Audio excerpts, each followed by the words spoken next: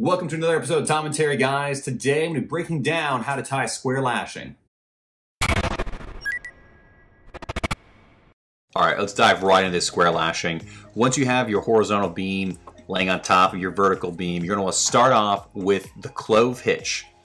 Now what you want to do is create a little X like I've done here on the base of the vertical post. You're going to pull that through and then put the end of that short rope underneath the X you just made and then pull each side quite taut. In this case, move it a little closer to that horizontal beam because we're going to be coming through here a few times. Then take the end of your short rope and wrap it around the longer portion of your rope. And now we're going to take that and on the right, you're going to go over the horizontal beam, then under the vertical beam on top, and then back over the left side of the horizontal beam.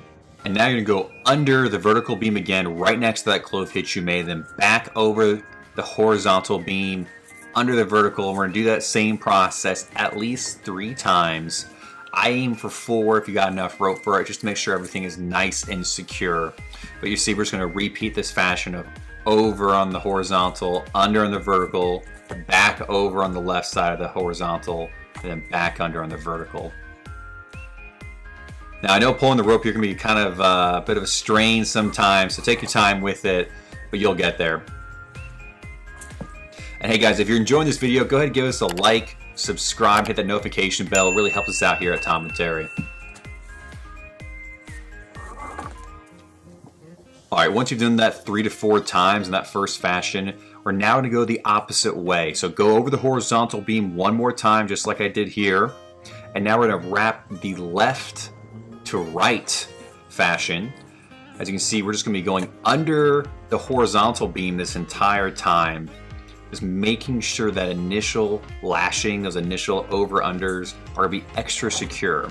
You're gonna do this a minimum of three times, but four is also acceptable if you have enough rope for it. All right, last but not least, guys, pull everything nice and tight so it's secure, and then you're gonna take the end of your rope underneath the beam one more time and pull it through that little hole you just made, pull it taut, and get your square lashing all set to go. Hey guys, if you enjoyed this video, check us out at Instagram as well, at Tommentary. Give us a follow. Stay up to date on our latest and greatest.